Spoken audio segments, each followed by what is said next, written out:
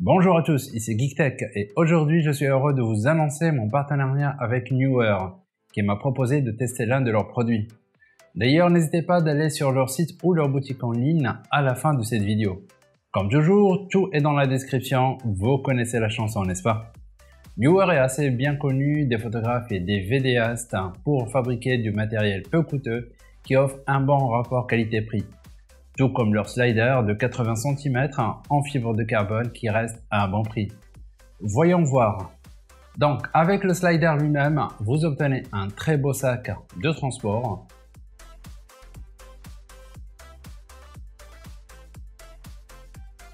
Une petite clé hexagonale et quelques pièces de rechange pour les pieds. Et c'est à peu près tout. Le slider s'est immédiatement imposé surtout avec sa très bonne qualité de fabrication. La combinaison fibre de carbone plus métal donne la sensation de robustesse tout en conservant un poids idéal. Le poids et la longueur sont en fait les facteurs clés lors de l'achat d'un slider. Tout le monde souhaite quelque chose un peu plus petit et plus léger au niveau d'un slider pour les tournages sur place et cela va être la solution parfaite pour vous. En termes d'options d'utilisation, vous obtenez différents points de montage.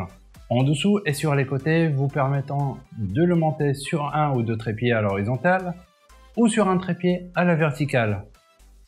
En outre, vous disposez également de pieds réglables pour poser le slider sur le sol ou sur une table et vous permettant de l'utiliser sans trépied ou pour des plans d'angle. Sur la plaque elle-même, vous trouverez votre vis pour monter directement votre appareil photo, mais il est également livré avec un adaptateur pour monter une tête de trépied. En outre, vous obtenez également d'autres points de montage sur la plaque pour les plateformes plus compliquées. Enfin, vous trouverez également un niveau de bulle pratique et le mécanisme de verrouillage pour garder l'appareil photo en place. La capacité de charge officielle est de 8 kg, donc en gros toute plateforme raisonnable sera plus que soutenue. Mais avec quelque chose comme ça, vous allez probablement ne jamais dépasser 1 kg, voire 3 kg maximum. Mais maintenant que la construction est terminée, nous sommes arrivés à l'essentiel, c'est-à-dire comment ça fonctionne réellement. Ce slider utilise donc 6 roulements à billes qui bloquent sur les rails. Celle-ci empêche la caméra de se tortiller et permet que les mouvements soient aussi doux et silencieux que possible. Le résultat final est qu'il fait un excellent travail. Même sans aucune stabilisation, la production des plans est vraiment lisse. Et si vous ajoutez un stabilisateur en plus, surtout avec des objectifs plus larges, le résultat vont être excellents.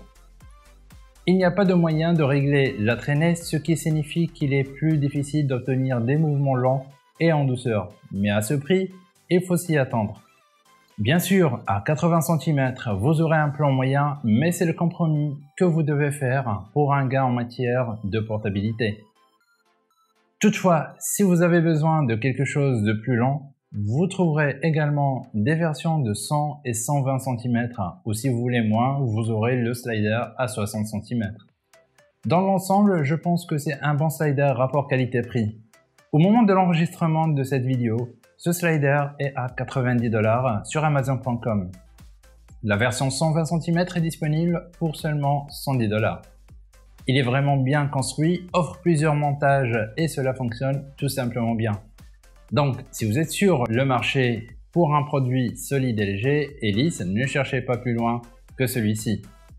Certes, vous trouverez des sliders moins chers, mais pas en fibre de carbone, ni avec des roulements à billes, ce qui peut créer un frottement plus élevé pendant le passage sur les rails.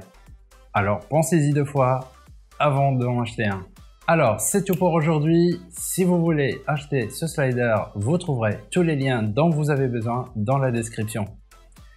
Et bien sûr, n'oubliez pas d'aimer cette vidéo si vous l'avez appréciée et s'abonner pour voir d'autres revues de matériel de technologie ou de photographie comme celle-ci.